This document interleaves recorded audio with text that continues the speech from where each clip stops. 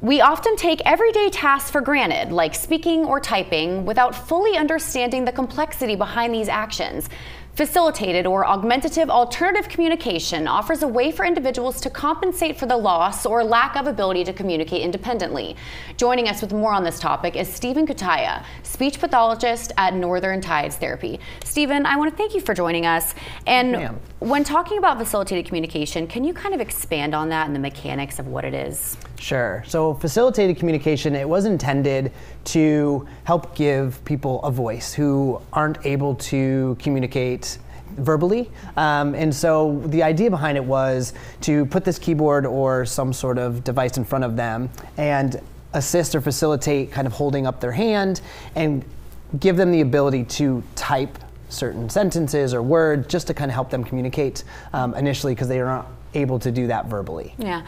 And so, what disabilities and conditions commonly would benefit from that, right? Sure. It can be a variety of them. So they can vary from developmental disabilities, which are, you know, at birth you don't quite, you weren't born with the ability to do certain things because of certain diagnosis, but they can also be acquired. Mm-hmm. So something that happens as a result of a stroke or an accident or something happens down the line that you lose the ability to communicate. And so these facilitated communication or alternative ways to communicate are put in place to kind of help you to get that message across and to be able to communicate with people despite something that has happened or the lack of the ability to do that in the first place. Mm-hmm.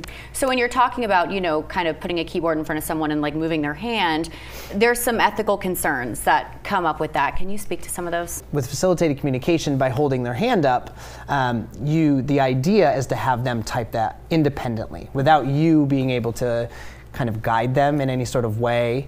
Um, and there's the concerns with that are whose voice is it really doing the typing, even if it's subconsciously, where the person that's facilitating that individual, they don't mean to be putting their message in and to be guiding their hand in a way to spell out what they want, um, but it can still happen, right? And when, without them even realizing it. And then in turn, if you do have some people that want to communicate for them, they can manipulate what they're actually saying. Yeah. And so is this uh, like what's the scientific consensus on facilitated communication? Is it is it something that is in in the world of, you know, speech pathology and all these things, is it something that is coined as something that works?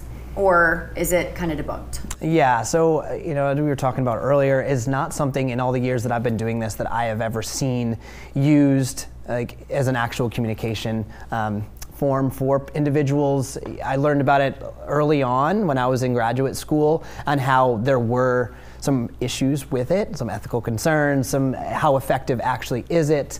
Um, and so I've never seen it used, especially now because there's other ways that and other modes that we can help these individuals communicate with where it takes that facilitated kind of aspect out of it. Yeah. And now this conversation is on the tail end of a Netflix documentary that just came out, Tell Them You Love Me, that follows a nonverbal man with cerebral palsy um, who was doing facilitated communication. There's a lot of issues that are talked about in this documentary, but it was this whole thing about not him not having agency, right? And so the future of not necessarily facilitated communication, but you know, augmentative alternative communication, what are some other methods that are either up and coming or that have been successfully used? Sure. So with the advancement of technology, it's I mean, the sky's the limit, right? You never know what they can come up with. But right now, there's so many. They're coming up with so many different ways that the individual can really independently show us what they're trying to say. And so, you know, typically what we use, um, there's the direct select mode. So like you, similar, you see just touching an iPad and there's different apps that they can use. They can build sentences. They can use a keyboard app to type out what they want to say. Um, there's also eye gaze devices where if you're not physically able to move your hands or select something with your fingers, they can guide your, your pupils of your eyes and you can kind of select a button that way. Um, and the accuracy has been so much better with all the technology, which, and then now you hear about the, I don't know how far down the road this is, but with that new Neuralink, with that chip that's implanted, this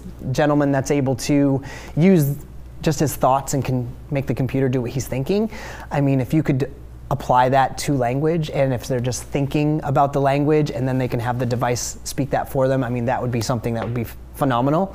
Um, so yeah, really you never really know with the way technology is going. the sky is absolutely the limit. And now, for someone that you know would like to uh, reach out for a speech pathologist, where can they go? Yeah, so I mean, if you just kind of Google speech therapist in Charleston, um, you know, we have a lot of experience at Northern Tides Therapy with augmentative alternative communication. We also have we what's unique about our company is that we pediatric and adults, where a lot of places you have to go one or the other, which it's beneficial because as people turn 18, it doesn't mean they need to stop having services, right? Especially if they've been with a therapist for a long time that transition can be difficult. So with our practice, they were able to stay with us beyond the age of 18, which is really exciting. Absolutely. Well, we will put the website for Northern Tide Speech um, down below. But Stephan, I want to thank you so much for joining us today. No problem. Thank you so much for having me. We're back after this.